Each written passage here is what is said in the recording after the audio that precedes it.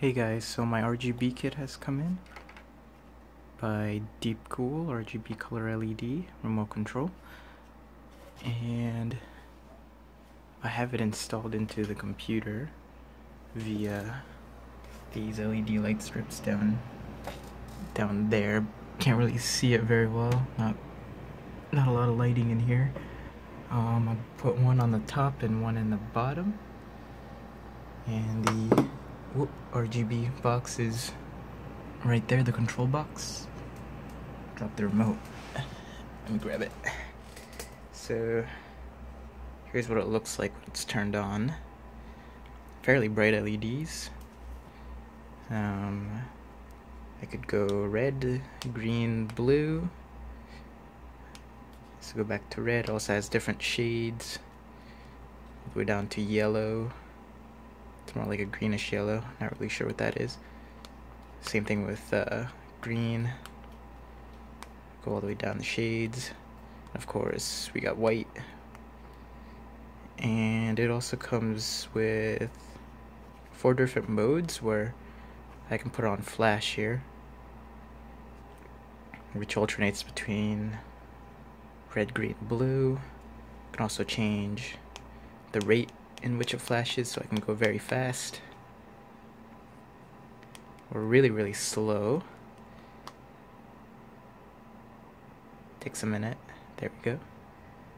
And then we also have another one called strobe which alternate which fades. Well not really fades pulses between red green blue. And then we got another setting called fade which pulses between all colors of the spectrum right here on the remote.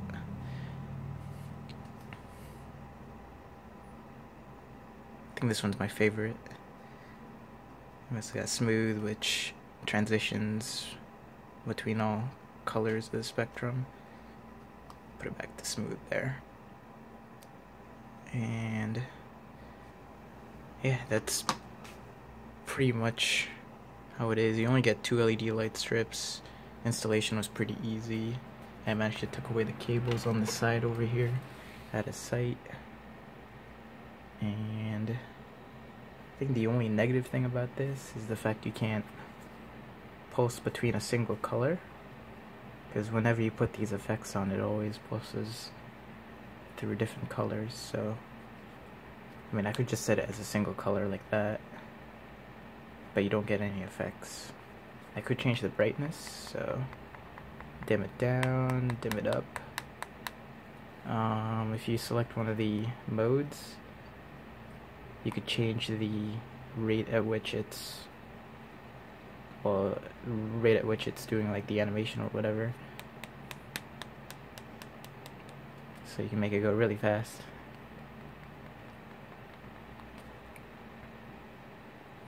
But that's pretty much it. Simple RGB kit. Didn't cost too much money.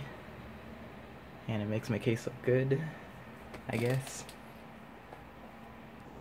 Alright, so I got my side panel on. That's what it looks like with the side panel. Looks pretty nice in there. Illuminates pretty much everything. Especially when you put it on white. It illuminates the inside of the case fairly well. Maybe some red. Nah, I like white. There we go. Yeah, so you can see pretty much everything in the case like that. GPU and all. Um, unfortunately, my RGB CPU fan is not hooked up to the same RGB, RGB controller up there, so I can't control that with the remote. So that's a drawback, but that's alright yeah, now my CPU's got RGB. Looks pretty nice. I'll see you guys next time.